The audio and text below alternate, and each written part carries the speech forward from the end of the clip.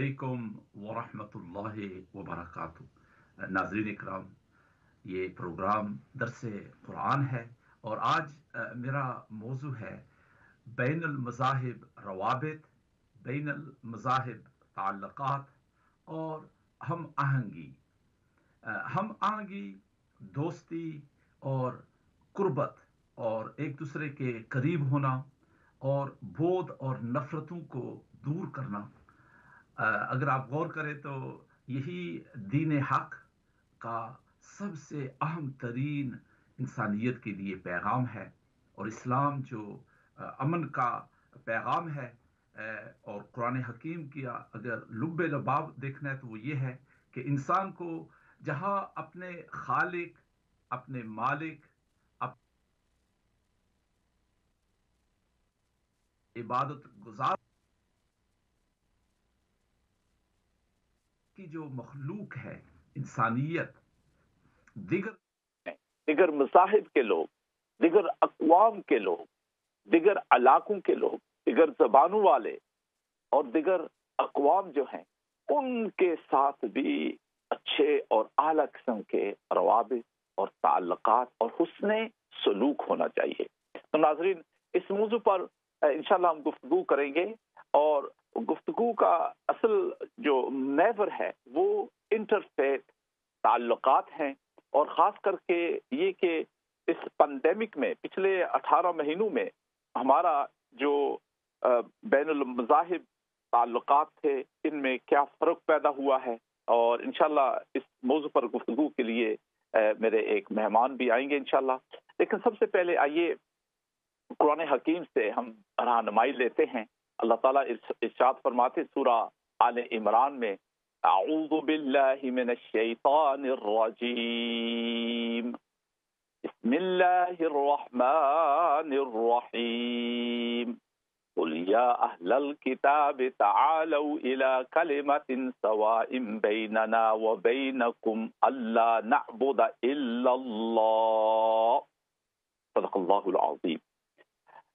सूरह आल इमरान में ये बड़ी मारकतुल आरा आयत है, जिसमें खाल के कायनात माल के अर्जो समा इरशाद फरमाते हैं कि, प्यारे महबूब, आप ये इरशाद फरमा दे कि, या अहलल किताब तालौ अहले किताब, आओ जरा, उस कलमे की तरफ़, उस बात की तरफ़, जो सवा बैनना व बैनकुम। जो तुम्हारे और हमारे दरमियान जो है बहम मुश्तरक है। ऐसी स्टेटमेंट ऐसा कलमा ऐसी बात जो हमारे और आपके दरमियान मुश्तर, मुश्तरक है। यानी कोई इख्तलाफ नहीं है उसमें जाना। और वो क्या बात है? अल्लाह नाबुदा इल्लल्लाह। कि हम इबादत करेंगे सिर्फ़ और सिर्फ़ अल्लाह की। अल्लाह की इबादत। ये ऐसा अ, अकीदा है और ये ऐसा फलसफा है ज़िंदगी का हमारे और अहले किताब के दरमियान कि जिसमें कोई इख्तलाफ नहीं है कि अल्लाह की इबादत करेंगे। तो यहाँ ये असल में ये जो वाक्य है ये वफद नजरान का वाक्य है और सूला सूरा आल इमरान में जहाँ खाल के कायनात ने और कुरान हकीम ने जंगे उहद का वाक्य बयान किया है। वहाँ एक बड़ा हिस्सा जो है इस सूरत का, उसका ताल्लुक जो है, वो ईसाइयों के साथ जो मुसलमानों के रवाबित और ताल्लुकात होने चाहिए, उसके मुतलिक है। इसलिए इस सूरत में वो वफद नजरान जो है उनके कुरान पाक ने गुफ्तु की है। ये और ये आयत उसी वाक्य के दरमियान में है कि जब ये नजरान का, नजरान सनआ यमन का जो दारुल खलाफा है, उसके करीब शहर था, जहाँ ईसाइयों की यूँ समझिए कि हुकूमत थी और ईसाइयों का जो बिशप था, वो एक वफद लेकर मदीना शरीफ में ये नवी सना हिजरी है आया और सबसे पहले तो ईसाइयों का नज़रिया था कि रसूलुल्लाह सल्लल्लाहु अलैहि वसल्लम और मुसलमानों के साथ मुनाजरा करेंगे और हम उनको कायल करके अपने दीन में लाएँगे जो ना नज़रिया ये था, नीयत ये थी। लेकिन जब वो मदीना शरीफ आए, रसूल करीम सल्लल्लाहु अलैहि वसल्लम ने ईसाइयों को और उस बिशप को बड़ी इज़्ज़त अफजाई की। जब उन्होंने नमाज़ पढ़ना, अपनी इबादत करना चाही तो जगह तलाश करने लगे। रसूलुल्लाह सल्लल्लाहु अलैहि वसल्लम ने फरमाया कि ये हमारी मस्जिद हाजिर है। यहाँ आकर जो है ना, तुम अपनी इबादत करो। बड़े मुतासर हुए। उसके बाद फिर अखलाक नबी और जो मुसलमानों ने उनकी खिदमत की मुतासर हुए और उसके बाद फिर अल्हम्दुलिल्लाह ये ये आयत अल्लाह ताला ने नाजिल फरमाई कि कुल या अहलल किताब बैनना व आइए उस बात की तरफ़ जो हमारे और तुम्हारे दरमियान मुश्तरक है। तो इससे पहले कि मैं मजीद इस बात पर गुफ्तु करूँ, मेरे मेहमान जो हैं, जनाब अल्लामा कारी आसिम जो खतीब और इमाम है, मक्का मस्जिद लीड्स के, वो तशरीफ़ फरमा है। जनाब कारी साहब अस्सलाम वालेकुम व रहमतुल्लाहि व बरकातहू। वालेकुम अस्सलाम डॉक्टर मुशरफ हुसैन नजरी साहब बहुत शुक्रिया आपने आज की इस मजलिस में मदू किया साहब आपकी माशाल्लाह जो खिदमत है बैनुल मजाहिब रवाबित बैनुल मजाहिब डायलॉग और हारमोनी के वो माशाल्लाह काबिल इस्ताइश है और आप एक लिहाज से जो है ना मुसलमानों की नुमाइंदगी करते हैं।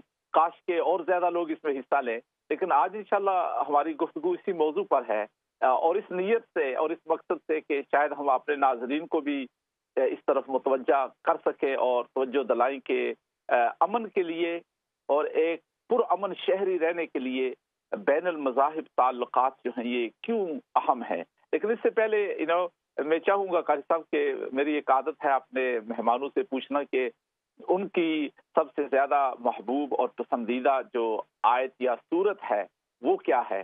ताकि हम जो कुरान की बरकते हैं, वो भी हासिल कर सकते हैं। तो कारी साहब, आपकी कौन सी, यानी पसंदीदा मुझे यकीन है सारी पसंदीदा है, लेकिन कौन सी ज़्यादा आप पढ़ते हैं या लुत्फानंदोज होते हैं ज़्यादा?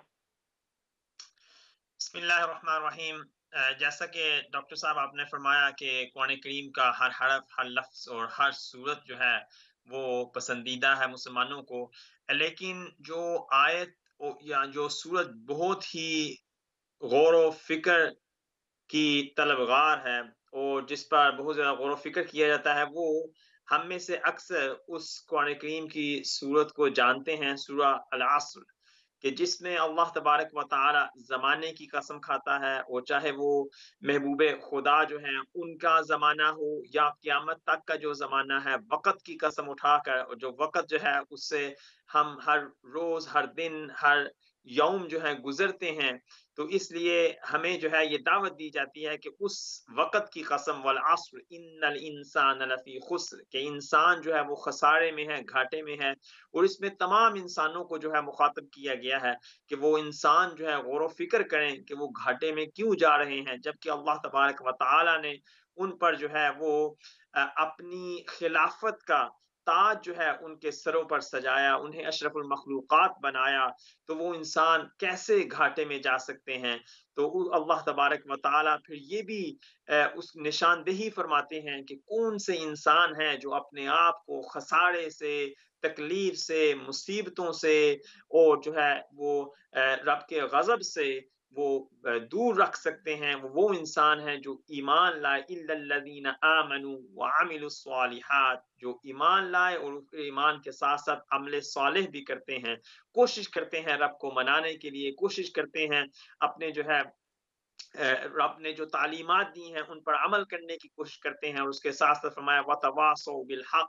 और जो है हक पर जो है कायम रहते हैं और हक की तलकीन भी करते हैं वतवासो सब्र और सब्र जो है उसका पैमाना कभी हाथ से नहीं छोड़ते। तो आज जो आपने मौजू चुना है, ये उस मौजू के साथ भी ये जो कुरान करीम की सूरत है, ये ये बहुत अच्छी नस्बत पैदा हो सकती है कि हम मुसलमान जब इंटरफेथ या बैन हम आहंगी का ज़िक्र करते हैं तो ना हक को छोड़ रहे हैं, ना अपने ईमान को छोड़ रहे हैं, बल्कि हमारे ये ईमान का हिस्सा है कि रब ने रब ने जिन इंसानों को पैदा किया है, उन तक हम जो है रब का पैगाम भी पहुंचाएँ, दाव दाव तो तबलीग जो है हमारा जो इस्लाम है, वो भी उन तक पहुंचाएँ कि किस तरह हमारा इस्लाम जो है वो किसी को भी वो ना ना किसी को ना किसी के खून बहाने को कहता है ना किसी के बिल्कुल जो है मज़हब जो है उसको उसकी नफरत फैलाने का ज़िक्र करता है बल्कि ये वो मज़हब है कि माशाल्लाह यू नो आपने जिस मुख्तसर सूरत का इंतखाब किया है अऊज़ु बिल्लाहि मिनश शैतानिर रजीम बिस्मिल्लाहिर रहमानिर रहीम वल अस्र इन्नल इंसाना लफी खुस्र।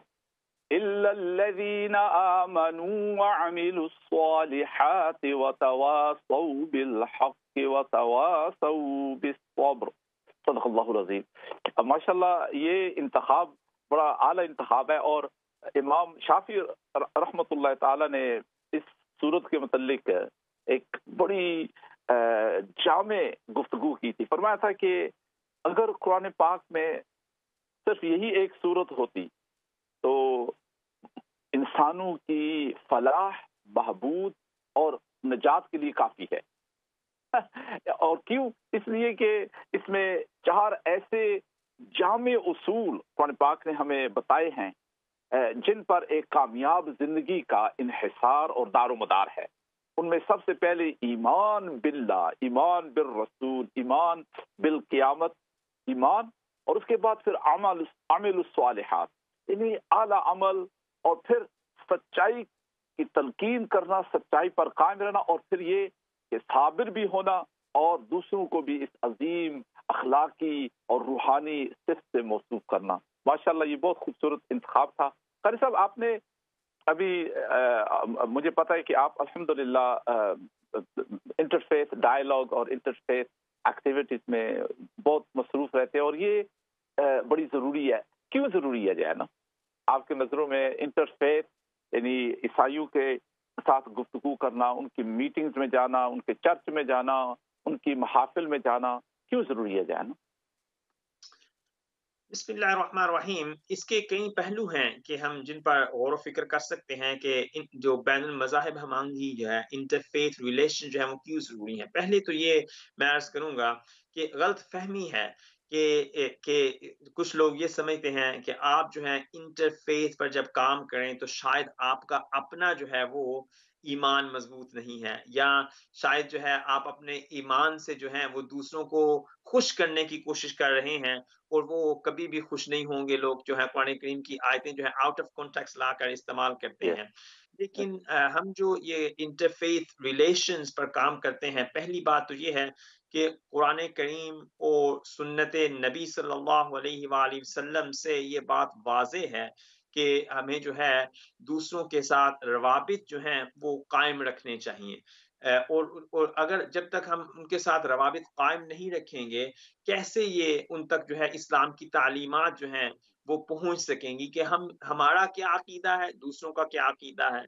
और ये हमेशा से होता आया है। नबी अकरम सल्लल्लाहु अलैहि वसल्लम ने जब ईसाइयों को मस्जिद नबी में कि जब उनको अपनी इबादत करने की इजाज़त दी और उस इबाद, उस जगह इबादत करने की इजाज़त दी कि जिसको अब हम मस्जिद नबी को मानते हैं कि एक दफ़ा वहाँ नमाज़ अदा करने पर पचास हज़ार नमाजों का सवाब मिलता है।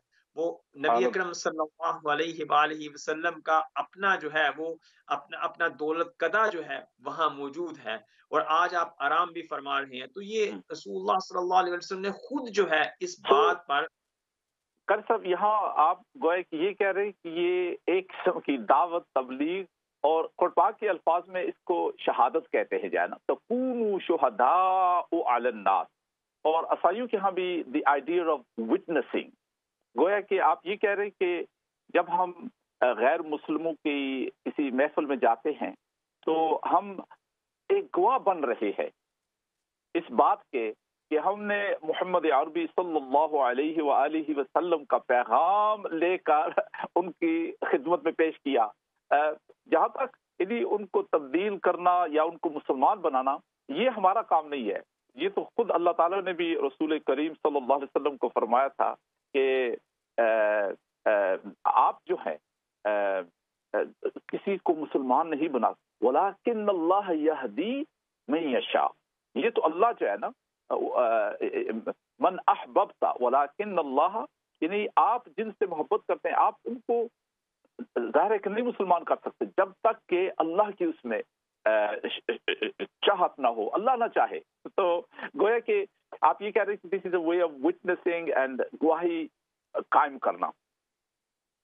जी एब्सोल्युटली ये जो है, हम हम हम जो है मुसलमान, एक मुसलमान की हैसियत से जाते हैं कि और और हम जो है, वो ज़ाहिर बात है, वहाँ अब हम क्या बात करते हैं? वहाँ ये जो इस्लाम किसी मौजू पर जो जो पैगाम देता है, उस पैगाम को ही हम आगे बढ़ाते हैं। मसलन अब मैं दो चार मसाले भी हम पेश कर सकते हैं। एक ये है कि इंटेलेक्चुअल लेवल पे ये किसी मौजू पर जो है बात की जाए और आपस में एक दूसरे के जो है, उनका देखा जाए कि भाई वो अपने अपनी इबादत गाहों में क्या कर रहे हैं, हम उन्हें दावत दें हमारी मसाजिद में है, वो कई दफ़ा ऐसा हो चुका है कि जब एक, जब इंटरफेथ की कोई डेलीगेशन हमारी मस्जिद में आती है और इस तरह दूसरी मसाजिद में भी उनके, उनकी आँखों से जो है आँसू चल पड़ते हैं कि पहली दफ़ा जो है वो, हालाँकि कोई जहरी इबादत भी नहीं हो रही होती, कोई कोई कुरान करीम भी ऊँची आवाज़ में नहीं पढ़ा जा रहा होता कि आप समझे कि उस आवाज़ को सुनकर उनका दिल जो है मोम हो गया है।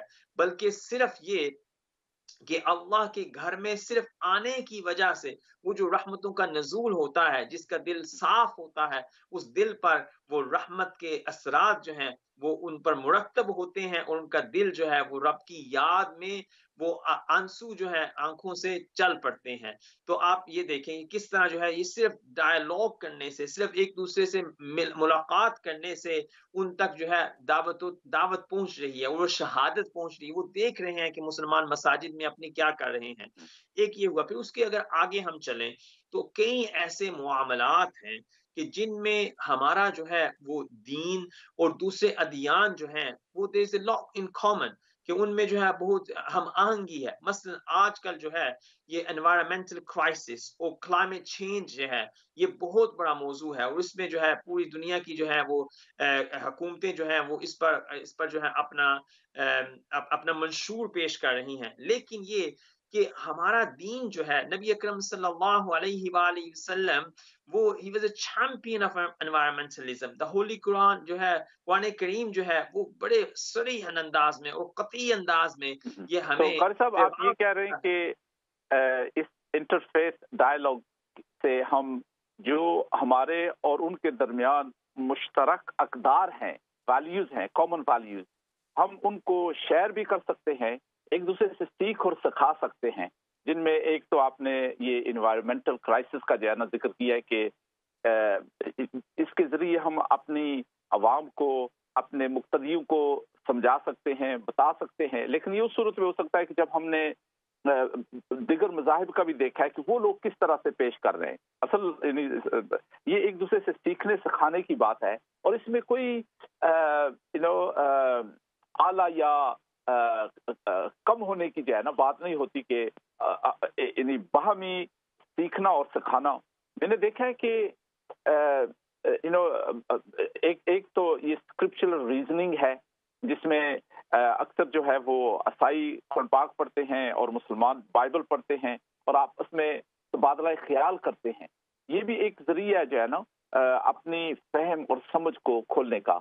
लेकिन एक और यू नो आपने ये बताया ना कि जो हमारी अकदार हैं और हमारे ज़रूरियात हैं, उनमें से बड़ा अहम मसला है इन्वायरमेंट का। और इसी तरह यू नो तालीमी शोबे में जिनसी तालीम जो है, जो आम होती जा रही है, उसको कैसे टैकल करना है? तो चूँकि चर्च ऑफ़ इंग्लैंड ने बाकायदा अपना एक कमेटी बनाई हुई है और इनके माहरीन हैं तो मैंने जब यू नो ये सवाल उठा था पिछले कोई डेढ़, दो साल से चल रहा है। तो मेरे लिए सबसे अहम तरीन जो रिसोर्स थी, वो चर्च ऑफ़ इंग्लैंड और कैथोलिक एजुकेशन की रिसोर्स थी कि इनसे हम कैसे इस्तेफादा कर सकते हैं। और और हमारा और उनका जो बाहमी इसमें इतफाक है हम उससे कैसे फ़ायदा हासिल कर सकते ये तो ये भी एक बड़ा अहम पहलू है। जी हाँ आप आप और मजीद आपके जहन में क्या मौजूद है जिनमें हम बाहमी तौर पर एक दूसरे से ले दे सकते हैं? ऐसे जैसे कि आपने डॉक्टर साहब अपने बयान किया, ये बहुत से ऐसे मौजूद हैं जिनमें हमारी मुश्तरक इकदार हैं कॉमन वैल्यूज़ हैं। और हम जो हैं उन पर ज़ाहिर बात है वो जो दूसरे के मजाहब हैं उनकी रिसोर्सेज हैं उन्होंने वो एडवांस्ड उनकी इंस्टीट्यूशंस हैं तो हम जो है एक दूसरे से सीख सकते हैं और उसके साथ साथ ये है कि जब हम इकट्ठे यकसुई के साथ किसी you know, किसी काम को आ, किसी काम पर जो दीन का दखल हो सकता है या जो ऐसे काम हैं कि जिनकी वजह से हमारा दीन जो है वो और हमारी इकदार जो है उनको तकवीत मिल सकती है तो इसमें कोई मलाल नहीं कि हम जो है दूसरों के साथ मिलकर काम करें क्योंकि अल्लाह तबारक वाली फरमा रहा है तकवा और हमेशा जो है हमारी तारीख में ऐसा होता रहा है। जो जहाँ मुसलमान जो है हुकूमतें रही हैं वहाँ गैर मुस्लिम भी जो है हुकूमतों का हिस्सा रहे हैं और एक दूसरे से सीखते सिखाते रहे हैं। अगर हम बिगिनिंग में चले जाएँ तो तो लातीनी जबान से जो जो मवाद आया हमारे हमारे हमारी मुस्लिम तारीख में और फिर उसको किस तरह जो है उस उसको आगे बढ़ाया गया तो ये जो है ये एक एक अहम पहलू है और इस पर जो है नज़र नजरसानी भी की जा सकती है। बैतुल हिकमत था बगदाद में हारून रशीद और अब्बासी खुलफा ने जो कायम किया था। उसमें अक्सरियत जो मुतरजमीन थे वो वो मुतरजमीन जो है वो या तो यहूदी थे या ईसाई होते थे। और उन लोगों ने मसलन अरस्तु की निको मीडियन एथिक्स जो है उसका तर्जमा किया अरबी में। और इसी तरह और बेशुमार और बड़ी कीमती किस्म के जो यूनानी कुतुब थी और फलसफा था उसका उन्होंने तर्जमा किया और उसके बाद फिर मुसलमान बड़े बड़े इबन सीना, इबन रुश और इबन मिसकुया जैसे जो और इमाम गजाली जैसे लोग हैं, उन्होंने उनसे बे इंतहा इस्तेफादा किया। इस हद तक के इमाम गजाली रहमत ग्यारहवीं सदी के अजीम आलिम थे, लेकिन वो इन्हीं अरस्तु की जो आरा थी, उनसे ऐसे मुतासर थे कि बाज़ात पाक की आयात कोट करते हैं उसको साबित करने के लिए कि देखो अरस्तु जो है ये सही बातें कर रहा है जाएगा तो इनशाला करी साहब इस छोटी सी ब्रेक के बाद हम वापस आएँगे और देखेंगे कि पंडेमिक का असर क्या हुआ हमारी इस बैन मजाहिब रवाबित पर। और चूँकि इस इन, इन दिनों में पिछले डेढ़ साल से तकरीबन हमारी मुलाकातें नहीं हुई तो इसका असर हमारे एक दूसरे के ताल्लुकात पर क्या हुआ है और सोसाइटी में हमारा हमारा इससे क्या असर हुआ है? तो इनशाला इस मुख्तर ब्रेक के बाद तशरीफ़ लाए और ज़रूर जो है ना तशरीफ़ लाए और इस मौजू को मजीद आगे बढ़ाएँगे।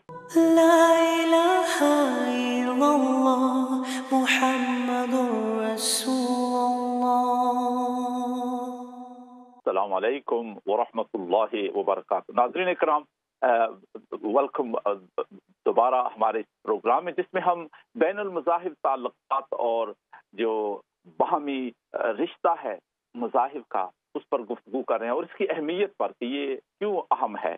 खुद पाक ने मुसलमानों की एक जो तारीफ़ की है, वो यूँ की है कि फरमाए कि वजाकुम उम्मतन वसता।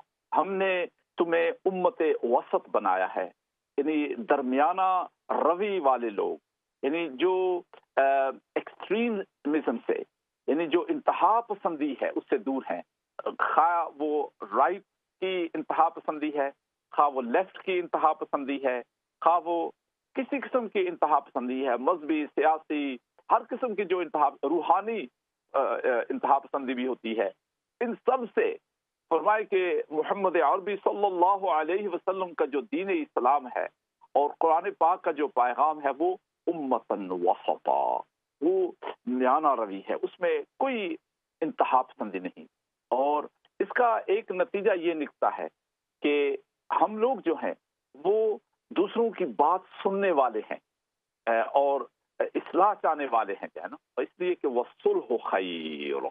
कुलपाक कहता है कि सुलो रिकन्सिलिएशन और इकट्ठे होना, उन बातों में जिनमें हमारा इतफाक है, ये एक अच्छी जो है, आदत है तो बैन मजाहिब जो ताल्लुक है, ये दरअसल मैंने इस, मैंने, मेरा एक मजमून है जिसमें मैंने ग्यारह कुरान पाक की आयात, मुख्तलिफ़ आयात और मुख्तलिफ़ जो कुरान पाक की असलाहत हैं, उनसे ये साबित किया है कि बैन मजाहिब रवाबित जो हैं, वो बड़े अहम हैं हमारे लिए खास करके जब हम इस मुल्क में रह रहे हैं जो बैन, जिसमें बेशुमार मजाहब जो हैं, वो काम कर रहे हैं। और ख़ास करके जब हम अकलीत हूँ तो उस वक्त हमें दूसरे मजाहब के साथ कैसे ताल्लुकात में चाहिए। और मेरे साथ जनाब कारी मोहम्मद आसिम, जो एम बी ई हैं, और उसके साथ साथ माशाल्लाह मिनाब के चेयरमैन भी हैं। और इंटरफेस में हम मुसलमानों के एक के नुमाइंदे और राहबर हैं। तो कारी साहब हम इससे पहले हाँ। जी। अस्सलाम वालेकुम जी कॉलर। हेलो अस्सलाम वालेकुम जी वालेकुम अस्सलाम रहमतुल्लाह जी सबसे पहले आपके मशहूर हैं कि आप जैसे लोग हमें गाइड करने के लिए मौजूद हैं। जी बहन। और कॉल ख्याल में ड्रॉप हो गया तो कारी साहब आप माशाल्लाह आपका बड़ा वसी तजर्बा है और आ, अभी मैंने मैं अर्ज़ कर रहा था कि पेंडेमिक से हमें खासा जो है वो खसारा हुआ है हमारे बैन मजाहिब रवाबित में। लेकिन कुछ अच्छी बातें भी हुई हैं इस पेंडेमिक में जो जिनमें मुख्तलिफ़ मजाहब को एक दूसरे से काम करने का मौका मिला है। तो आप जरा उस पर रोशनी डालें जो एक्टिविटीज़ हुई हैं। जी, डॉक्टर साहब, बहुत बहुत शुक्रिया, डॉक्टर मुशरफ हुसैन। अलजरी साहब, आपने दोबारा मदू किया अपने प्रोग्राम में। तो ये जो पेंडेमिक है, ज़ाहिर बात है, इसमें सब चीज़ जो है, वो अदल बदल हुई। तिलकल बैनन्नास हमारे लिए बहुत बड़ी आजमाइश थी और अभी तक मौजूद है। अल्लाह तबारक व ताली हम सबको हिफ्स अमान अता फरमाए और जो इस पेंडेमिक के दौरान, वबा के दौरान इस दुनिया से चले गए उनके दर्जात में बुलंदी नसीब फरमाए। तो जहाँ पर इन इस वबा की वजह से और लॉकडाउन की वजह से बाकी बहुत से मसाइल उठे, वहाँ ये भी था कि बैन मजाहब जो हमारी मीटिंग्स हुआ करती थी, जो आपस में एक दूसरे के साथ रवाबित होते थे और आपस में एक दूसरे के साथ मिल बैठ कर किसी मकामी इशू पर या जो है वो नेशनल इशू पर गुफ्तगु होती थी वो उस तरह आपस में आमने सामने बैठकर नहीं हो सकी। और और इसके इसके जो है नुकसान ये है कि जारी बात है कि जब हम आपस में मिल बैठते हैं तो कम्युनिकेशन जो है वो बहुत ज़्यादा उस उसके बहुत ज़्यादा असरात होते हैं। दूरियाँ यानी जो गलतफहमी होती है वो दूर होती हैं और कराबतें बढ़ती हैं और सबसे बड़ा ये कि जब हम आपस में गुफ्तगु ना करें बोले चाले ना सवाल जवाब ना करें तो बहुत सारे, यानी गलत फहमियाँ दूसरों के मतलब जहन में आ जाती हैं। तो इसलिए, जी हाँ तो ये भी, इसलिए भी ज़रूरी है, जी हाँ। बिल्कुल इसके मगर ये है कि उसके जो मुस्बत पहलू वो ये हैं कि बहुत ज़्यादा जो है वो ऑनलाइन मीटिंग्स हुई और जो लोग जो। आमतौर पर लोग जो है वो बैन मजाहब या इंटरफेथ रिलेशंस में नहीं आ सकते थे मीटिंग्स वगैरह में ऑनलाइन उनके लिए आसान था और इसलिए उन्होंने इसमें जो है हिस्सा लिया। और जो है आप और उनको इंटरफेस रिलेशन जो है इसके बारे में उनकी उनकी जो राय है वो भी तब्दील हुई या उन्हें अवेयरनेस जो है वो ज़्यादा पहुँची।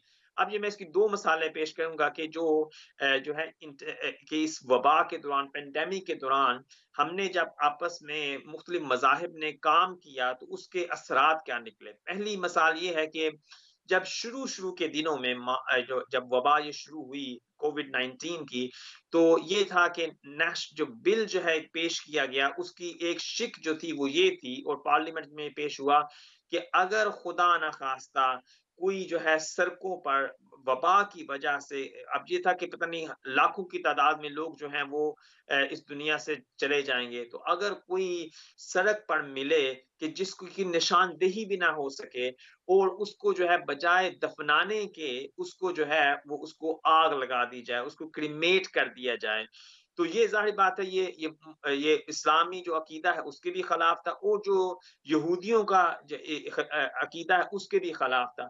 तो इसमें जहाँ पर एम पीज ने मुस्लिम एम पीज ने और, और दूसरे भी मजाहब के एम पीज ने काम किया वहाँ ये था कि मुसलमानों ने और यहूदी रहनुमा जो है मुस्लिम एंड जूश कम्युनिटीज उन्होंने इस पर बहुत ज़्यादा काम किया और ये आपस में जो है एक यकसुई के साथ जब पैगाम पार्लियामेंट को पहुँचा तो उसकी वजह से फिर ये लॉ नहीं बन सका। तो ये एक बहुत बड़ी मिसाल है कि वबा के दौरान ही आपस में काम करने की वजह से ये जो है एक जो मुसलमानों पर तो, सर इसके अलावा हमने ये भी मुशादा हुआ है कि कल मुशाह हुआ है कि बहुत सारे शहरों में जो फ़ूड बैंक्स हैं, मुसलमानों ने और ईसाइयों ने और यहूदियों ने मिलकर जो हैं, वो चलाए हैं। आपके भी यहाँ कोई लीड में ऐसे मौके आए हैं, पेश? जी जी, बिल्कुल ऐसा जो है, और ये बहुत बड़ी मसाल है कि मुसलमानों ने दिल खोल कर जो है वो बगैर किसी के नस्ल देखे रंग देखे और और अकीदा देखे उन्होंने जो है लोगों की मदद की है। मेरे लिए ये बहुत ही बड़ा मतलब इंस्पिरेशन था कि मैंने देखा कि, कि नौजवान मुसलमान रोज़े की हालत में वो सुपरमार्केट्स के बाहर जो है वो क्यू में खड़े हैं? क्योंकि वो जो है रोज़े की हालत में वो सुपरमार्केट्स के बाहर क्यू जब लगते थे उस उन क्यू में खड़े हैं कुछ खरीद खरीदने के लिए ताकि वो अपने गैर मुस्लिम नेबर्स जो शील्डिंग में थे जो आइसोलेशन में थे उन तक जो है वो खाना पहुँचा सकें। तो ये हमने देखे मुसलमानों की और ईमान की वजह से वो जो है इस जज्बे के हामिल है।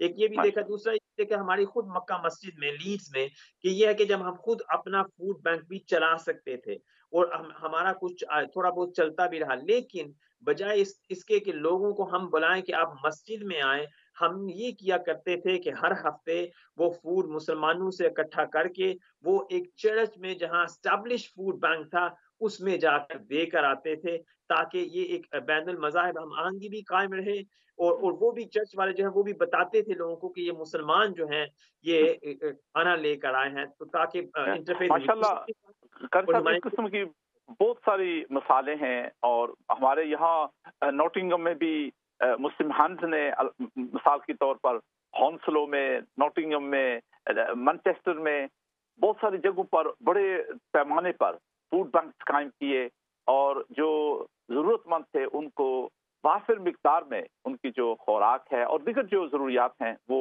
पहुंचाई। और ये सारा मैं समझता हूँ कि एक तो हमारे दीन का जो खूबसूरत दीन का सा, सा, दीन के सारे पहलू अल्हम्दुलिल्लाह खूबसूरत हैं। इसमें you know there is no bad part in it ये एक हकीकत है कि इस्लाम का हर पहलू जो है वो खूबसूरत है और वो मुनसफाना है और उसमें हक और सच्चाई की खुशबू आती है, हर जगह, हर चीज़ में, और फन पाक शुरू से आखिर तक ऐसा ही है। लेकिन फ़र्ज़ ये अब हमारा बनता है मुसलमानों का कि हम उसको वाक्यतन पेश करें।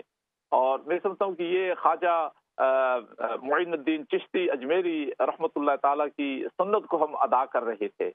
जब ये लंगर हम मुख्तलिफ़ जगहों पर लगा कर गैर मुस्लिमों को दे रहे हैं। और अब भी अलहमदिल्ला लोग ऐसा कर रहे हैं। लेकिन कर साहब, मैं मैं चाहता हूँ कि जो बैन मजाहब ताल्लुकात हैं इनकी जो अहमियत है, हम अपने मसाजिद और अपने जो आइमा हैं और उसके अलावा अवामनास को ये बावर कराना कि ये हमारे लिए क्यों मुफीद है? इस पर मजीद अगर आप कोई, आपके जहन में कोई नुकता आए तो बयान फरमाया जाए ना। जी मैम मतलब बहुत से नकात हैं मगर अगर सिर्फ़ हम तीन पहलुओं से देखें पहले हम ये देखें कि ये हमारे दीन का हिस्सा है कि आप जो है दू, दूसरों से हमारे दीन में ये हिस्सा है कि अल्लाह तबारक व ताली ने मुख्तलिफ़ अदियान के लोग हमेशा मौजूद रहेंगे हमेशा मौजूद रहे हैं क्यामत तक जो है वो क्यामत के करीब जो है वो हालात मुख्तलिफ़ हो सकते हैं हमारी जो हादीस में आता है। तो अब ये है कि अल्लाह तबारक व ताली ने हमें जो दीन मतीन अता किया और नबी कायनात सल्लल्लाहु अलैहि वसल्लम का जो उसवा हसना दिया उसमें ये है कि हम जो है दूसरों के साथ किस तरह रहें? उनके साथ जो है आप आप जो मोहब्बत से लोगों के दिलों में अपना जो है मकाम पैदा कर सकते हैं वो नफरत करके कभी नहीं कर सकते। हाँ। कि अल्लाह तबारक व ताला जो है वो नरमी नरमी जो है नरम है रहम दिल है और रहम दिली को, नरमी को पसंद करता है। तो ये ये ये जो है, ये गलत फहमी है कि जो है, हमारा दीन जो है, वो ये दूसरों को जो है, बिल्कुल ही वो निगेट करता है बिल्कुल ही जो वो उनको जो है, खत्म करता है। हमारा दीन ये दावत ज़रूर देता है कि जहाँ पर जो इस्लामी अकायद हैं आप उन पर जो है कंप्रोमाइज नहीं कर सकते और हमारा दीन ये भी हमें पैगाम देता है कि अपने अकायद पर मज़बूत रहकर दूसरों के साथ जो है मोहब्बत के साथ पेश आए। आप और साहब यहाँ एक जो बहुत बड़ी गलतफहमी होती है लोगों को वो ये समझते हैं कि जब हम इंटरफेस काम करते हैं या इंटरफेस डायलॉग होता है तो किसी किस्म का समझौता हम करते हैं। और ये बहुत बड़ी गलतफहमी है। इट्स नॉट अटोल जो है ना, बल्कि हकीकत यह है कि उन लोगों के साथ आप इंटरफेस कर ही नहीं सकते। ईसाइयों के साथ, यहूदियों के साथ, हिंदू सिखों के साथ, जो कॉम्प्रोमाइज करने वाले हैं। यानी दूसरे अल्फाज में, जो खुद मुनाफे के आपने दीन में, उनके साथ आपने क्या बात करनी है? तो इसी तरह एक मुसलमान जो है, वो भी किसी लिहाज से, यानी इंटरफेस का माना ये हर चीज़ नहीं है कि यू कॉम्प्रोमाइज यानी बल्कि हकीकत यह है कि आपने अपने दीन का जो असल पहलू है, असल शक्ल है, वो पेश करनी है और एक बेहतरीन नमूना बन के मुतासर करना है दूसरों को। मैं आपको बताऊँ कि मेरा जो मोटिव रहा है हमेशा वो यही होता था कि इस्लाम का आला तस्वुर और आला शक्ल जो है, वो हम कैसे पेश कर सक, कर सकते हैं और जो इनकी गलत फहमियाँ है वो कैसे दूर कर सकते हैं जो ना तो एक पहलू तो ये हुआ, आप आप कह रहे थे कि और भी कुछ पहलू है बैन मजाहिब रवाबित के, या। एक पहलू ये हुआ। दूसरा पहलू ये है कि बैन मजाहिब के साथ जब हम काम करते हैं तो कई हमारी ऐसी जो है, हम, जिनका हमारे कवानीन, इस्लामी कवानीन के साथ ताल्लुक है, हलाल और हराम के साथ ताल्लुक है, उसमें हमें जो है वो सहूलत मिलती है। मसलन आप देखें कि जो है वो जबी का जहाँ मसला है कि हलाल गोश्त खाने का तो ये क्योंकि जो है वो यहूदियों के यहाँ वो भी यही है तो उस वजह से हमें काफ़ी प्रोटेक्शन मिलती है। ये अब हमारे में खामी कमी है खामी है कि हम जो है उस लेवल तक अपना जो निज़ाम है हलाल करने का या जबी करने का वो हम नहीं कर सके। तो ये जो है या या, या दफनाने के मामला हैं और भी ऐसे आप ये कह रहे हैं कि चूँकि कोशर मीट यहूदियों के यहाँ बड़ा अहम है यानी वो बाकायदा प्रॉपरली जो है ना जिबा करने के कायल हैं और चूँकि ये बड़े मज़बूत है जिसकी वजह से हम कमज़ोर जो है मुसलमान हकीकत यह है कि हम मुसलमान दो हम यहाँ चालीस लाख है हमारी तादाद या इससे ऊपर तजावज की अभी जो बीस इक्कीस का जो सेंसस हुआ है उससे जो मैं समझता हूँ कि तादाद निकलेगी वो चालीस लाख से भी ज़्यादा होगी लेकिन इतनी बड़ी तादाद जो है वो अफसोस से कहना पड़ेगा कि हमारे यहाँ इतिहाद इतफाक और रब्त न होने की वजह से हमारी जो कुत है वो वैसे नहीं है जैसे एक डेमोक्रेसी में होनी चाहिए। बहरहाल, सो हम क्या करते हैं कि इहिसार और करते हैं दूसरों पर कि वो मज़बूत लोग हैं, वो अपनी अपनी जो अपना हक ले सकते हैं तो हमें भी जो है ना उनके साथ मिले ताकि हमें अपना हक मिल जाए। यस इट्स गुड तो फैली किस्म का इट्स सिम्बियोटिक किस्म की रिलेशनशिप है। बट यस यू राइट के इसके ज़रिए और इसी तरह जहाँ यानी जिनसी ताल्लुकात के मतलब मुख्तलिफ़ यहाँ ख्याल हैं, आरा हैं, उनमें अगर हमें कहीं से तकवीत मिल सकती है तो वो जो ईसाई कैथलिक्स है खास करके और यहूदी भी जो है उनसे हमें मदद मिल सकती है इस मामले में भी जो है ना हमारा तालीमी। जी हाँ साहब। जी तो ये दूसरा पहलू हुआ जहाँ जहाँ ये नेशनल हमने इशू का ज़िक्र किया वहाँ मकामी तौर पर भी आपकी मसाजिद हैं कोई आपके मसाइल हैं जब दूसरे आपके साथ खड़े होंगे तो फिर जो है आपका पैगाम जो है वो वो ज़्यादा असर करेगा लोकल काउंसिल लेवल पे या मुख्तलिफ़ जो है लेवल्स पर। तो तीसरा उसका ये हुआ ये है अहम पहलू के ह्यूमानिटेरियन इश्यूज़ कि अब जो है लोगों को जो है इस मुल्क में भी बहुत ज़्यादा पॉवर्टी है और, जो है लोग जो है मुश्किल में है। तो अगर आप सिर्फ़ अकेले अकेले जो है काम करेंगे और सिर्फ़ कहेंगे कि हमने मुसलमानों के साथ ही ताउन करना है तो वो जो है ना हमारा दीन ये सिखाता है और ना ही दीन का दूसरे सही मानों में हम पैगाम जो है दूसरे तक पहुँचा सकेंगे। लेकिन अगर हमारी मसाजिद जो है वो दूसरों के साथ मिलकर, हमारे जो इदारे जो हैं वो दूसरे मजाहब के साथ मिलकर जो है, ये हम ह्यूमानिटेरियन जो इशू है जो लोगों के फलाह बहबूदी के लिए जो काम है, वो जब हम करेंगे तो उसका भी बहुत अच्छा असर पड़ता है। और जो है हम मैं चौथा पहलू ये अर्ज़ करूँगा कि जहाँ हम बैन मजाहिब का ज़िक्र करते हैं और ये जो लोग बैनुल मजाहिब में काम करते हैं वो बैनुल मसालिक में भी जो है उनका अच्छा किरदार होता है।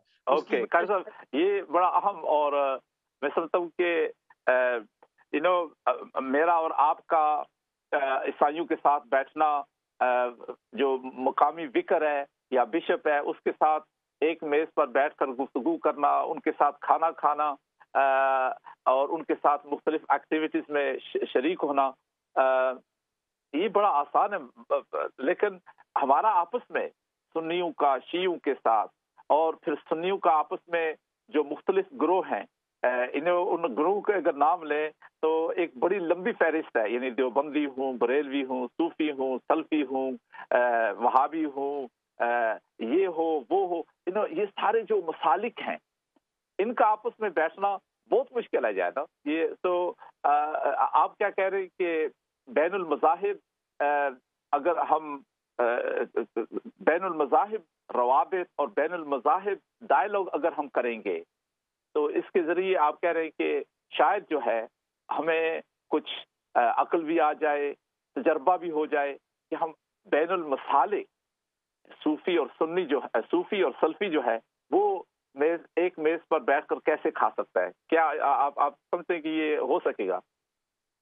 मैं बहुत उम्मीद उम्मीद रखता हूँ कि ऐसा हो सकेगा कि जब, और हो भी रहा है, एक लिहाज से जब हमारी जो है, वो खासतौर पर मकामी लेवल पर जहाँ इंटरफेथ मीटिंग्स होती हैं, वहाँ जहाँ वो ईसाइयों के मुख्तलिफ़ मकातब फ़िक्र को बुलाते हैं वहाँ अब मुसलमानों के भी कई मुख्तलिफ़ मकातब फ़िक्र आते हैं उनके रहनुमा आते हैं और हमें ये सोचना है अगर हम एक गैर मुस्लिम के साथ बैठ कर आराम से हँसी खुशी गुफ्तगु कर सकते हैं तो आया हम जो है अपने ही एक मुसलमान भाई के साथ जिसमें जिसके साथ हमारा फ्रूई मामला में इख्तलाफ हो हम ऐसा क्यों नहीं कर सकते?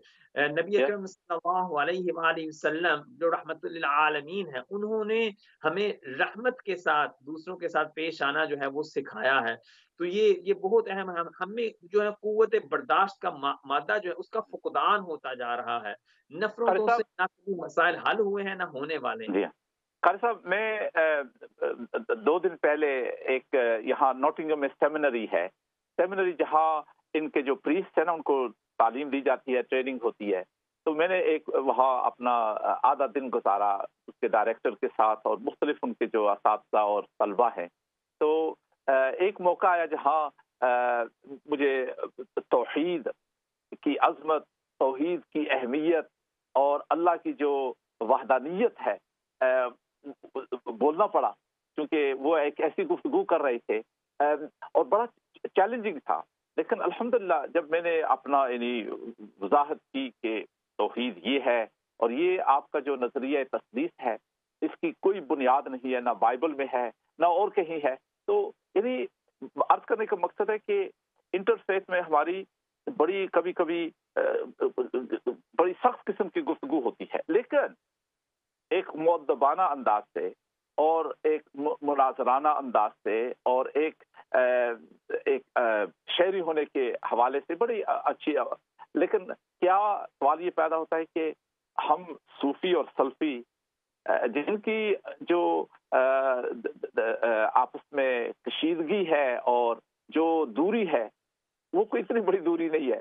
लेकिन ऐसा बाज़ात महसूस होता है कि नहीं जाए ना हम लोग अपने इन जो दूरी है इसमें पुल नहीं बना सकते क्या कहते हैं आप जी हाँ, मैं मैं ये भी समझता हूँ कि मेरी नाकस राय में ये ये इलम की कमी की वजह से हम्म। आज जो है वो ऐसी जो है वो तंग गली में चला जाता है कि हम्म। बस जो है वो समझता है हर चीज़ जो है वो या सफ़ेद है या काली है लेकिन हम देखते हैं कि ये फ्रोई मसाइल हैं जहाँ हम बैन मजाहिब का ज़िक्र करते हैं वहाँ भी मैंने अर्ज़ किया कि हम अपना अकीदा नहीं छोड़ते।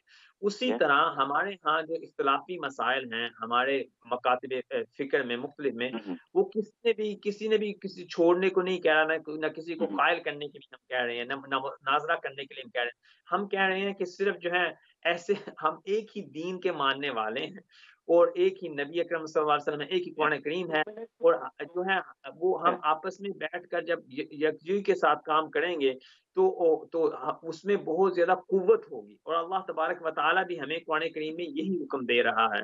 तो अब हो भी रहा हम देखते हैं कि वसीउल मशरबी जो है वो आ रही है। माशाल्लाह। आप बड़े पुर उम्मीद नज़र आते हैं जो है ना और अल्लाह ताला ऐसे ही हमें रखना चाहिए।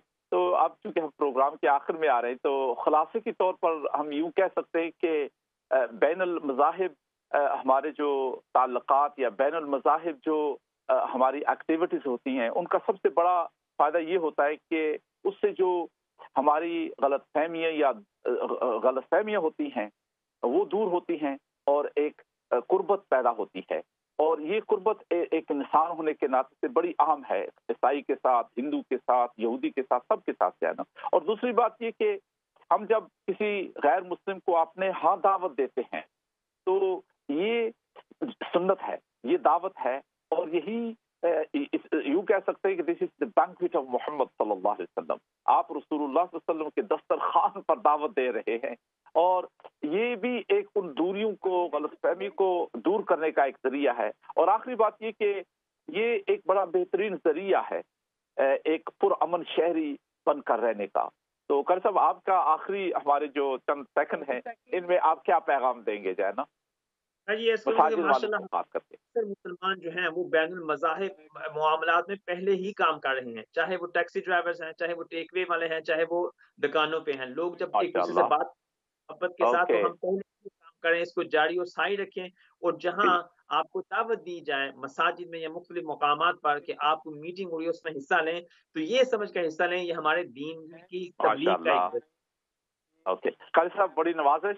और इनशाला अगले हफ़्ते नाजरीन आपसे किसी एक नए मौजू के साथ को लेकर आएँगे इनशाला